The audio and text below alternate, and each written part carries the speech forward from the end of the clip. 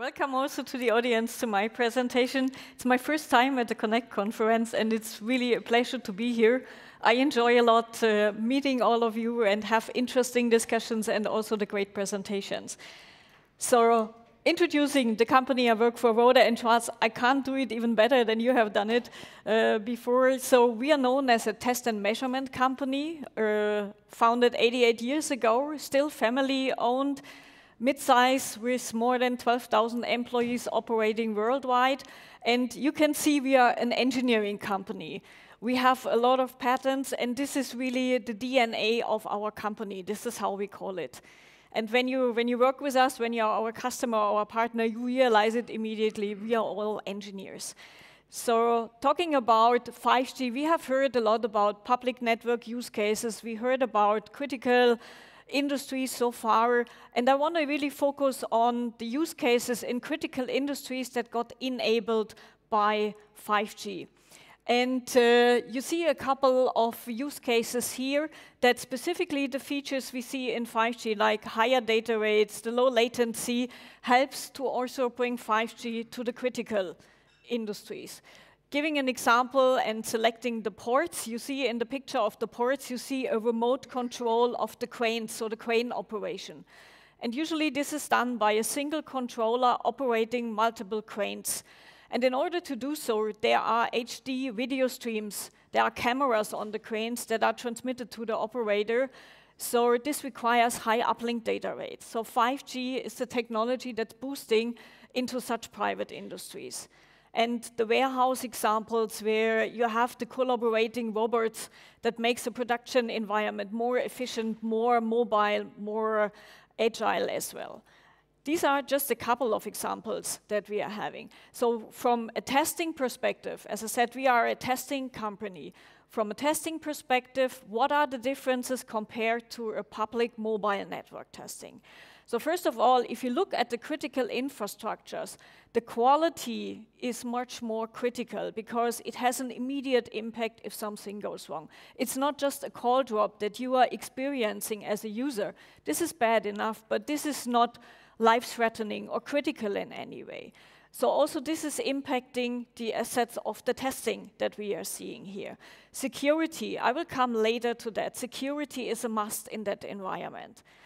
The reliability, there are criteria defined by the five nines and the six nines that uh, tell you about the number of uh, call drops that are tolerated. And in the six nines, it's one one uh, call drop in a million of calls that is just allowed to go wrong in such a scenario. So imagine what kind of criteria, they are pretty tough specified in the scenarios here.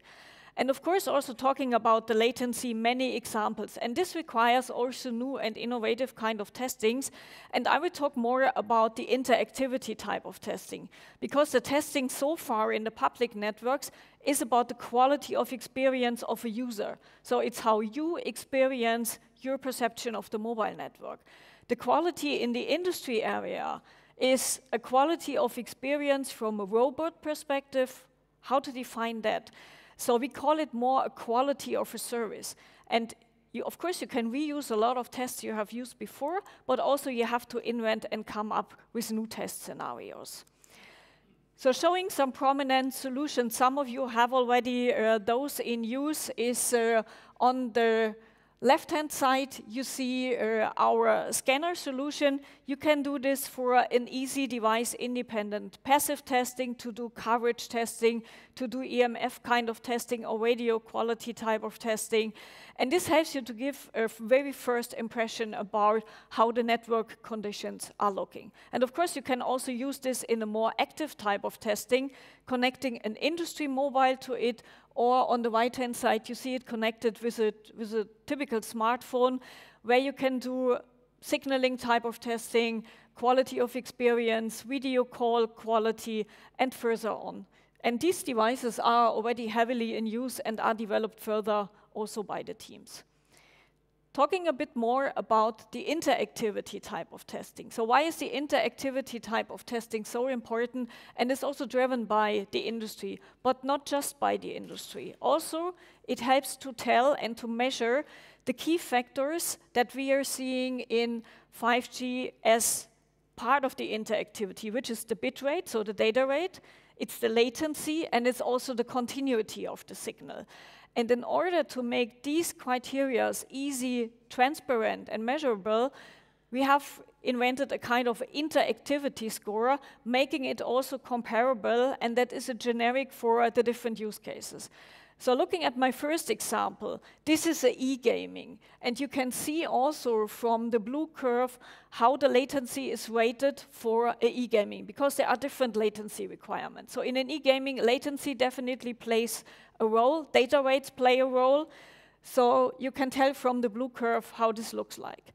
Now comparing this with a use case where we have different latency requirements, but also where interactivity is required. And this is a VR retail shopping. So if you imagine VR retail shopping, if you see your picture in the mirror a couple of milliseconds later, it doesn't have an effect. You would probably even not realize that.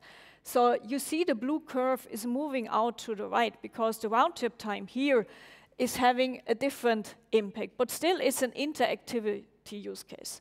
So also you get an interactivity score that you can compare with another and that tells you about how good your interactivity is in such a use case.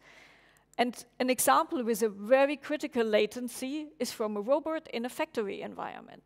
So in that environment we have, and you can see this from the blue curve tied to the left, we have a very critical latency requirement. And these kind of tests help you to, with one generic method in order to compare and to also tell and measure the quality of the network you are having also in critical industries. It's used in ITU, it's uh, specified in ETSI and so on. So these are standardized methods that we are having. We heard about AI before and techniques of machine learnings. And one topic that I think all of us are um, are taken care about is with all of the amounts of data we are collecting every day, how can we better use the data in order to do predictions, to use machine learning, to really work with the data and take input out of the data that we are already having. So ideas are, and there are anomaly detections that helps to optimize the network by simply using what we have from the data collected. And another idea that we see is very critical in the automotive industry, when we talk about a call stability score, you can predict areas where you have a higher risk about a call drop. And why is this important? Think about autonomous driving. In an autonomous, in an autonomous driving, the car is really controlled by, and the car, the connectivity, and the connectivity the car is having to the outside is essential. So if you know the car is entering an area with a higher risk of a call drop, you might take countermeasures, like the driver has to take control again. You get out of the, of the safe driving mode, things like that. And another example, of course, is also about the capacity prediction in the network, and that helps for the capacity planning in the network.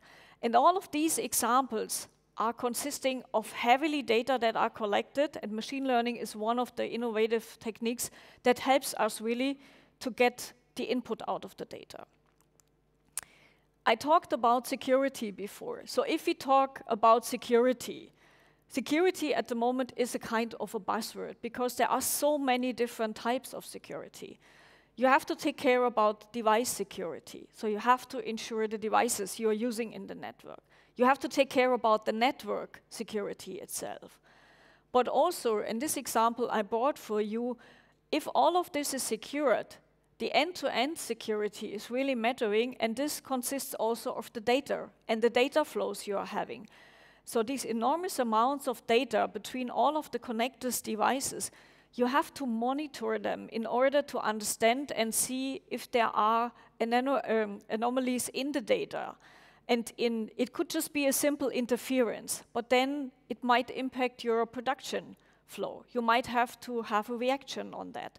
But it could also be a jamming, it could be an attack from a hacker that is just visible in the data.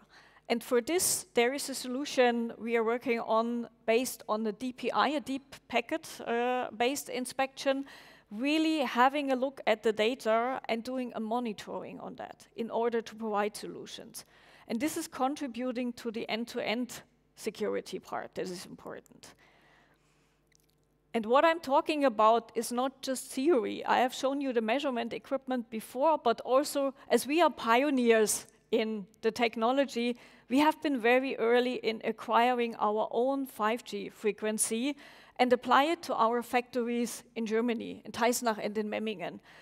And on the one hand, this helps us really to get first insights about how to use a private network to be really the end user of a private network in a factory. So what problems are our customers having with that? How can we learn? How can we test our equipment? How can we better support our customers and partner with the industry? On the other hand, of course, as we are the owner of the production, it also helps us to keep our production efficient and also cost optimized and running and making use of all of the nice uh, 5G features. One of the first examples we tried out was really the AGVs we had in the productions to put on the 5G network.